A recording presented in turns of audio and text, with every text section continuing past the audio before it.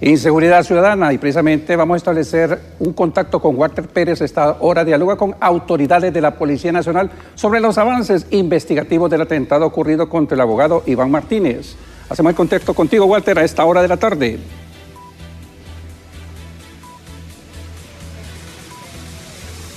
Muchas gracias, compañeros. El subcomisario Edgardo Barahona de la Policía Nacional me acompaña en estos momentos. Datos actualizados, eh, subcomisario, en torno a este atentado que ha sufrido el abogado Iván Martínez el día de ayer. Muy buenas, eh, Walter, a las personas que se informan con BTV. Primero, informar a la población que se informa con ustedes de que las tres personas que resultaron heridas durante este atentado se encuentran eh, fuera de peligro, fueron trasladados a centros asistenciales donde eh, los médicos han informado de que ellos se encuentran estables y fuera de peligro. Hay resguardo policial en los dos establecimientos sanitarios, ello para proteger eh, la integridad de estas tres personas, entre ellos lo que usted decía, un profesional del derecho.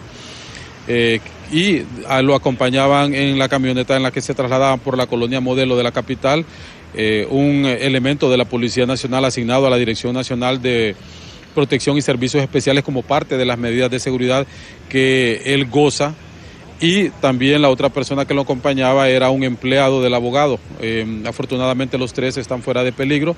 Y la Policía Nacional, a través de la Dirección Policial de Investigaciones, ya tiene equipos especiales trabajando en eh, los procesos que nos permitan identificar quiénes fueron los autores, tanto materiales como intelectuales, de este atentado eh, y de igual manera conocer cuáles fueron aquellas causas que originaron este hecho criminal. ¿Será importante la evidencia que pueda arrojar las cámaras que estaban eh, pues, en ese sector donde ocurrió este atentado? Porque pudimos percibir que habían varias cámaras de seguridad en ese lugar, eh, Así es, todo recurso que pueda utilizarse para esclarecer el hecho es importante y al tratarse de una zona residencial donde existen videocámaras de vigilancia, el proceso que realizarán los investigadores, ya apoyados por eh, la Fiscalía del Ministerio Público, será solicitar estos videos y poder identificar quiénes serían eh, los actores. Ya igual manera, ayer se realizó el proceso de reconocimiento de la escena del crimen, eh, la recolección de indicios y la recopilación de información por parte de posibles o potenciales testigos presenciales del hecho criminal.